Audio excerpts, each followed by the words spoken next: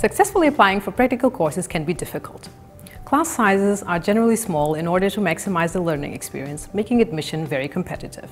As courses are oversubscribed, the scientific organizers have the challenge of selecting participants from a pool of highly qualified applicants. So how can you increase your chances of getting selected? Although guidelines differ between institutes, there are three main rules that generally apply everywhere. Make sure that the course you're about to apply for is indeed the right one. Check that the course program corresponds with your learning goals. If you're expecting to learn something that won't be covered, you will be disappointed.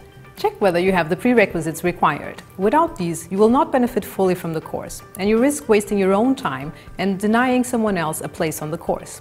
Also think about the relevance for your lab. Is this knowledge lacking, and will you pass it on to others?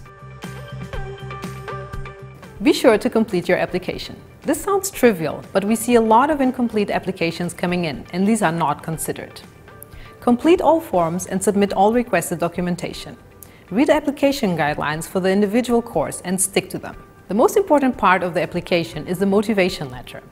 In this, you will need to explain why you would like to attend, what you expect to learn, and how you think you will benefit from attending.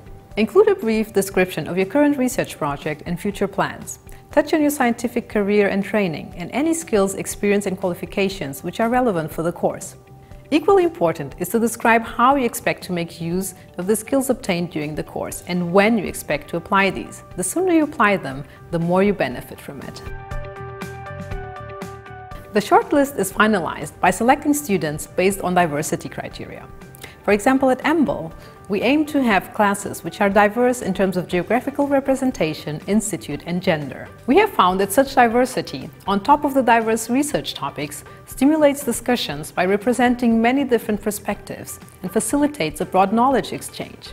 So, now you know how to approach your next course application. Why not start by checking out our list of training opportunities under embl.org/events.